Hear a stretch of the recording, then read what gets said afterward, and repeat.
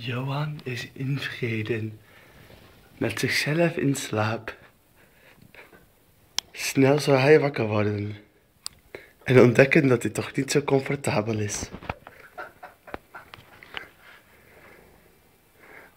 Ook is deze jongeman aanwezig. Het is een psychopathische gek.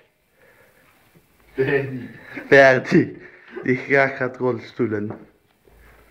Over en uit. Eep.